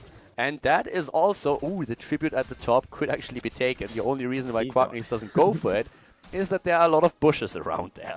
Yeah, that's a good reason to avoid it. And also Shad was missing. Shad able to move his way up there and even up that tribute count, bringing it to 2-2. So the next tribute will be a curse. Both teams have their heroics now, but this boss gonna keep Fnatic busy for quite a while. Blizzard trying to make sure that the heroes are using all of their heroic abilities, and ETC in this case is actually a tribute to that. Him using Stage Dive right now for the mobility is pretty incredible, especially of course since the talent does now a lot more damage than it did in the past. So this is definitely going to help. Cooldown on 75 seconds also helps quite a bit. And if you think about the wave of force that is being used by Li Ming at this point, the amount of mosh pits that you're going to get through with a Tyrande and not a Divine Shield, even without the cleanse that could help you, is a minimum. So having, in this case, the stage dive makes perfect sense. Yeah, it's going to work out very nicely. Strafe being used by Quacknix for extra damage there. The Sundering, though, to prevent it. Stage Dive used in place, and Shad gets blown up by the Orb, which was sent to where he was going to land. Yeah, Orb is taking him down, so that was not quite what he was hoping for here. He was actually attempting to escape for now, but yeah, that didn't really work for him. We have at the same time the curse hitting the red team though, so Fnatic is being cursed and the lead in experience is already significant for Team Liquid and they're going to try and pick up level 13 with this. The push in the mid lane here with Dehaka as BKB moves in. Bot lane on the other hand is still being deep pushed by a Siege Giant camp that Fnatic took a bit earlier, but Lowell is at the top right now trying to take these waves apart with another Chain Lightning and their level 13 talent is going to help them with a push. As in the mid lane, again the kill, this time against Dehaka. Fnatic really fighting tooth and nail to not suffer too much damage at the hand of this curse. Yeah, and they're doing a very good job. They do lose that top four, but uh, and they will lose the bot one as well, but protecting the mid at least, that could have taken a lot more damage if they hadn't been able to group up on it. Yeah, top lane, Ford has been lost. Bot lane, Ford also eliminated. So two Fords down. The one in the middle could be safe. But it's still a level lead that we are seeing for the team in blue. Team Liquid is doing well. They are looking at boss, but they're not really willing to commit to it yet. Especially with Fnatic now hitting level 13 any moment. And the curse only lasting for another 7. There's no real way for them to commit to it and not exposing themselves to a potential turnaround. Yeah, so they need to be very careful. The curse finally expiring, so Fnatic available uh, one tribute away from their own curse for the comeback. And both teams just taking mercenaries for the moment because they can't really roam out onto the map too much. We are seeing Muradin just going to move to the bot lane to start clearing those minions, get his team XP, or at least soak XP until Li Ming can get there to do it for him. Whirling Dervish again, Glass Cannon, Shrink Ray, Spell Shield, and that Spell Shield is exactly what we talked about earlier. So the poke that we are seeing from the Composite Arrow on level 1, still something that Quacknix values highly here, in this case, for the potential interrupts of course as well. They're still talking Tribute Interrupt, and doesn't really get a Frost Shot here, but adapts to what has been picked as heroic abilities. Again, the stage dive up to the top, where Ethereal Angel is alone, and that really helps to isolate Sonya right now. They're trying to go for the kill. Sonya, the Divine Shield, and that last second Starfall also too late to really make a difference. Quacknix is already interrupted on his own strafe. Here comes the Sundering now too. They're starting to jump in, but not a single kill. Yeah, isolation was just used and did not hit anyone, so the Dehaka gonna be ha uh, gonna have to pull back here along with the rest of Team Liquid. The root coming down to prevent Breeze from catching anyone out and forcing a re-engage. There was a huge amount of heroic abilities, by the way, that was used Yeah. on the side of Team Liquid. They were really trying to go for the kill against Sonya, and they just didn't get it because, well, they couldn't isolate her for long enough. Uther went in, used the Divine Shield, and that's what that's all she wrote there. Three kills against four now overall. And when it comes to like damage output, we are seeing especially Muradin and also Valla doing their best here in this case. But uh, definitely a scenario in which Fnatic is behind, have been behind for a long time, but still make sure that they are not falling like too far apart from team uh, from team liquid. I actually like the way that they are still holding on clinging on to that one level difference between the two teams. For them it's of course going to be important that they're going to hit a curse against team liquid at some point but they suffered a curse. They suffered a lot of deaths on their part as well. The boss has been taken by team liquid earlier but they still are in very good shape Yeah, and Fnatic going to take the, uh, their boss on their side of the map while they can, because they can give up this tribute. They can afford to, however, they need to be very quick. This Owl has spotted them. ETC coming in, forward the night, or at least to delay this in time for the rest of the team to get there. But Breeze, with some good zoning, able to allow his team to pick up that boss. Dehaka gets the tribute and is going to be able to move down to fight these mercenaries, but the boss is going to be a good amount of XP for Fnatic here. Groupies on level 13, by the way. Just keep rocking on level 7. We have Sprint for Tyrande. Haven't really pointed that out yet. The Unfettered Assault, of course, not really coming as a surprise. One of the most commonly tagged talents on Greymane on level 13. On the Prowl, something that we occasionally get to see as well, especially, of course, if you have an auto attack Worgen former hero choice for Greymane. But for now, it's again the commitment down to the bottom. The boss is being not attacked yet, but definitely focused. The level 16 talent that we're seeing for Team Liquid now, on the other hand, is going to definitely put a stop to that. But we will see that extra talent for Fnatic now any second as well. Yeah, and the XP almost exactly equal thanks to that tower, and it's about to jump in favor of Fnatic thanks to the boss taking down the fort up in the top lane. Uh, sorry, just taking down the minions and everything else in the top lane as it keeps pushing.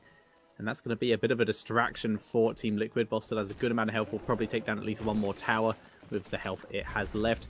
Now we're seeing both teams zoning over this tribute. And, well, Liquid can't afford to leave this because that's going to be a curse. Yeah, exactly. It would be a curse against them. The Hawkeye still at the bot lane, trying to get a bit of experience for Team Liquid, and would of course love to go also go for a bit of a flank there. Needs to be very careful though that he doesn't like burrow into the wrong bush. Again, we have the commitment over here. Shad is already waiting. But Smexy is attempting to go for the channel. There's still Tyrande to consider, and Greymane is in position for the interrupt, but Gat is the first one to throw the Owl.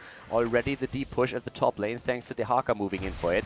Again, the interrupt. And now Smexy, oh, they're trying to go for shot while Smexy channels the tribute. Here comes the Sundering, Curse is there, ETC jumps in, the kill against Valla. Stage dive has been used, Divine Shield on Sonya. They're trying to go for the kill, but Fnatic is in trouble. Yeah, Liquid get cursed, but they get kills as well, or kill at least. Able to pick up Valla, but now all their buildings are under attack. The top lane that Dehaka just de-pushed is now suddenly under duress. They're all heading back to deal with that. In the meantime, Fnatic rush to the bot lane and are gonna start pushing at that area. They can either try to go for the boss or take down the fort in the bottom lane. Yeah, they go for a bit of a, of a trap setup here, and it really looked like Team Liquid was looking for additional kills in that last engagement, and that would have worked for them if they could have followed this a bit more. But with a curse against them, they needed to deep push the top lane, and BKB is still doing that. That's a huge amount of damage against the keep. That is actually massive right now for Fnatic. That's a chance for them to later on just move through keep and go for core. A huge opportunity in this game now, especially with Valla being back, the boss at the bot lane, a huge focus point still, but the waves are pushing in and there's another 4 seconds on the curse, not going to force anything. Shad actually has to move away here. Breeze not going to be able to stun him out, but Dehaka is going for the next camp, which actually at the top lane. That just means that he's going to go for another wave before he starts to potentially jump in. And the leading experience is still there for Team Liquid. Yeah, they're still managing to hold this thanks to that split push of Dehaka. He has Burrow up and ready. He has the full 50 essence. He is basically ready at any point to come in and help his team. And once second they start getting kills after he's used his essence, he's going to start building it back. But for now, Fnatic not wanting to take on any unnecessary risks, especially seeing as they are that little bit behind. They want to get as much XP as possible to keep themselves in this game because they know they can't really out uh, soak Dehaka, but they can just get as much XP as they can so that they can just avoid fighting once Liquid hit level 20 until they hit level 20 themselves. Five kills against three still in favor of Team Liquid. Greymane and Dehaka soaking lanes. Uh, only three heroes defending in the middle, but that level 20 is something that Team Liquid is very working very hard for right now. They are trying to go for it, but Dehaka is already jumping back to base now. We have, of course, with them deep pushing the top lane also a lot of safety now for that keep that we've been talking about earlier. It's incredibly low in hit points as is, and both of the teams are currently waiting for the next tribute. They also know that this boss is a huge, huge threat for both teams right now since both of the bottom forts have been eliminated. Team Liquid is actually triggering it. They know that Valla is at the top and they're trying to make it happen before she's in the fight. That might work for them. They're attempting to do that, but Valla is very close, and Team Liquid is abandoning this particular battle. But there's a chance that Fnatic is gonna, just going to turn around and try to take the boss themselves. Yeah, they have everyone here. Dehaka has Burrow, and he is coming in. And here comes the attempt to disengage, but the stage dive. Shad takes a lot of damage from this, though the Divine Shield is good on top of Sonya. Muradin jumps in to try and tag through. He gets knocked out again, though. And the kills, though, going over to Fnatic. Boss going over to Liquid. Nice stun by Gernot there. And Muradin bites the dust. It's a two for one in favor of Team Liquid. In favor of Team Liquid, and they also get the boss that drag out of the zone was great. That's exactly what they needed here. that boss is pushing the bot lane right now. Team Liquid is nearly on 20 the curse tribute, or the tribute here itself, couldn't even be taken, was interrupted. Chris is there, can now finally pick it up. It's not going to curse Fnatic, but that level 20 is just so close. Bot lane is being pressured, they're going to defend against it, they're not going to lose too much, but they're definitely going to fall even farther behind since Team Liquid is now going to be able to take level 20, and they want boss number 2 as well. They move to the top lane to claim this one too. Yeah, they're going to start that straight away, and we're seeing Fnatic it looks like they're just going to let it go. Instead, they just have Valla in the bot lane soaking XP. They have Sonya in the top lane soaking XP. Just getting as much XP as they can so they can get level 20 as quick as possible. But they have a full level to go. Yeah, Apex Predator taken. After Starfall, we see the Celestial Wrath now used. ETC, I mean, he could go for the crowd pleaser here even. For now, he hasn't taken a talent yet. Bolt of the Storm, of course, still very viable on him. And we're having at the same time, after the boss has been taken out, another camp that is being focused by them. There is also the chance for the Harker to just like go to the bot lane, take that particular tribute, and then go to the top push with the curse here. And that's something that they might be doing here. Death Metal has been claimed right now. That's a huge talent for Shad, actually. Yeah, makes a lot of sense. He's the only one really. He's one of the only ones in the front line. So if he gets picked off, could really turn fights in his team's favor here, especially with Muradin and Sonya both frontlining so hard. Shad going in very aggressively there. There's the Starfall. Quacknix having to disengage. Athero using that Mystical Spear to keep himself alive. Boss not with a huge amount of health, but with that curse, the keep is doomed especially with a level 20 talent. And BKB moved in immediately with his Dehaka. Here comes the drag against Muradin. The stun is too late though. A bit of a misstep there. Get a bit too slow with that stun to really capitalize on BKB's action and that would of course allow them to blow up Muradin and maybe like even transition into a second keep kill or go for that core. But they're still using ETC here and Shad is willing to die with him going for death metal here. He's completely happy to sacrifice himself if he gets a good uh, level 20 out of it. Yeah, just means he needs to be near as many people as possible when he does die. Right now, though, Fnatic, they're trying to not only defend their building, but also grab as many minions as possible for 20, and there it is. And that will force Liquid to back up at least a little. And to the level 20s, we do see the repulsion on that Li Ming, redemption on Uther, ignore pain on Sonya, rewind on that Muradin for the extra stun. Valla, yet to pick Bolt of the Storm, the uh, Bolt of the Storm probably the most likely, I'd say. Yeah, I would say Bolt of the Storm is going to yeah. be the talent of choice. In this case, it does make a lot of sense. I mean, are you really going to go Nexus Frenzy with this particular set of talents? I highly doubt it. There's nothing else that he can really go for. Vengeance, I mean, maybe, but Bolt of the Storm is just like too much safety to really give up upon. We're having Muradin with also now the double Storm Bolt potentially, of course, since he went straight into uh, into his level 20 rewind. We're also seeing the redemption on Uther and ignore pain for Sonya. But yeah, nice. Like if so far Team Liquid actually doing an incredible job with that curse and the bosses that they got, taking two of the keeps down, and that's of course something that opens up a lot of opportunities for them going straight for core if they win another team battle. Peak with Fireflies here as his 16, trying to just do as much damage to everything here as possible.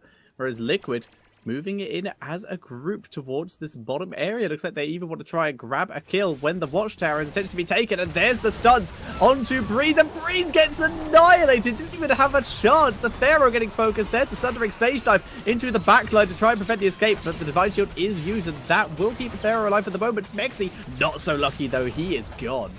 He's gone. He has redemption still, though. The attempt to go for another drag, but a good Bolt of the Storm on the side of Quacknix. Well played here. That kill against Muradin was huge though. And keep in mind that both of these teams don't have another tribute channel, so there's not going to be a curse for a long time. But with now 30 seconds on the clock for Muradin, there's a chance that they can just simply move through the bot lane and take down keep number 3. With those two Siege Giants there, there's a huge opportunity for them to make sure that Fnatic is going to be completely pressured until the end of this game. Yeah, they're already fairly pressured in all the other lanes, like you said, with those Siege Giants. And they're just setting up again. There's nothing else on the map they can do, so it's just like, okay, we're just going to do the exact same thing again. This time, though, Schwimpy checking it out with his magic missiles, though. But Athero getting focused. He takes a huge amount of damage, but ignore pain keeps him alive for the moment. Yeah, for the moment in the time being. But Quacknix is in trouble as well, and he does not have the Bolt of the Storm ready anymore. Down goes Valla. That's the kill against Uther once again. And they're still putting pressure on Ethereal Angel. But that's an important one right now. And they still have five heroes. There's bosses on the map now, though, and they want to go for it. They set another trap up, and they again? go in for it again! It's the Chinese push meta all over again from the regionals, from the global finals. Here comes ETC with a jump, goes for the stage dive. Schwimpy in trouble. They all jump away. Dehaka is with them, and now they can go straight for the core here. A lot of damage against LOL, but it doesn't matter anymore. Schwimpy is down to 50 hit points, but escapes barely. The problem really being it's a 5 versus 3, and Team Liquid, they show no mercy here. Yeah, it's basically down to Schwimpy to somehow deal enough damage to kill off everyone, but it's not going to happen. Breeze gets taken out, and that is GG, and Team Liquid will qualify for DreamHack Tours for the Summer EU Regionals.